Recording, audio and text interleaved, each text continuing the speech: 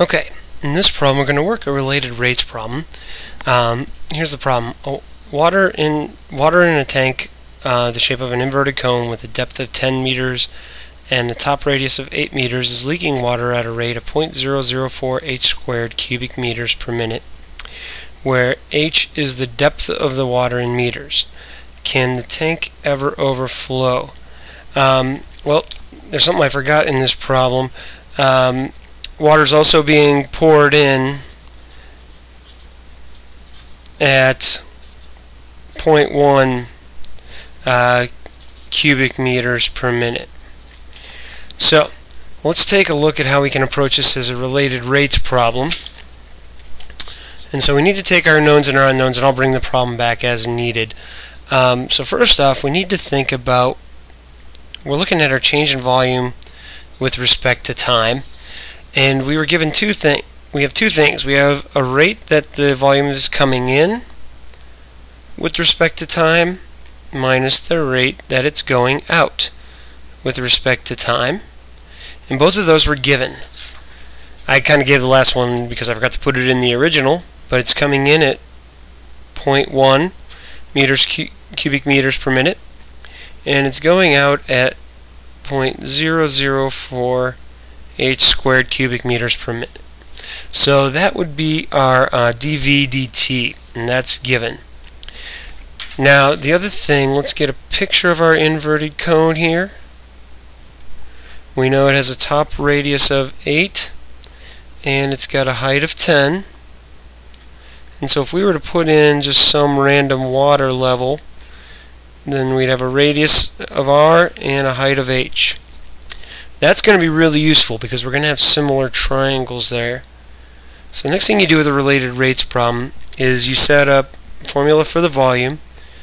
For a cone, it's pi over 3 r squared h. Now, for our particular problem, notice everything is in h, including this uh, dv dt.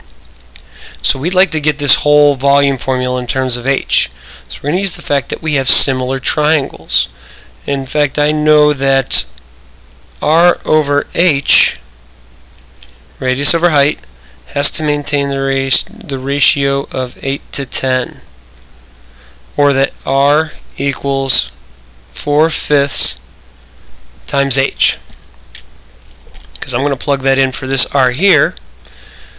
So I've got pi over 3, 4 fifths. So that's, again, something we look for. We always want to get our uh, formula in terms of one variable. So if I simplify this, I've got 16 over 25 the times the 3 on the bottom, so I have 16 pi over 75 h cubed. Now I have volume in terms of h, and I know my dV dt. Uh, we weren't given any specific height, and we weren't given a DHDT. In fact, all we were looking for to see is if the tank can ever overflow. So what we're going to do is analyze DHDT, which is the rate the height is going to be increasing. So I'm going to take the derivative of both sides with respect to time.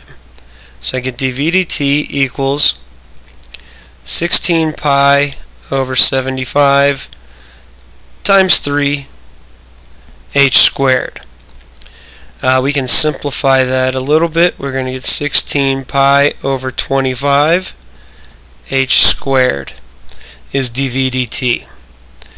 Alright, now I'm going to need a little bit more room here, so I'm going to now plug in my dv dt right here, which was, if you remember from before, I have it still up here, uh, the 0.1 minus 0.004 h squared. Gosh, I'm sorry, and when I did my dv dt, I forgot to multiply by a dh dt by a dh dt by our chain rule. Okay. Now what I'm going to do is I'm going to see what's going on with dh dt. So I'm going to solve this guy for dh dt.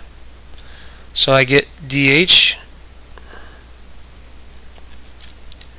dt is equal to 0.1 minus 0.004 h squared over 16 pi times 25 over 25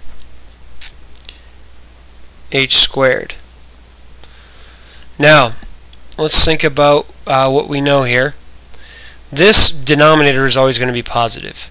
So the only thing that can be positive or negative is this numerator.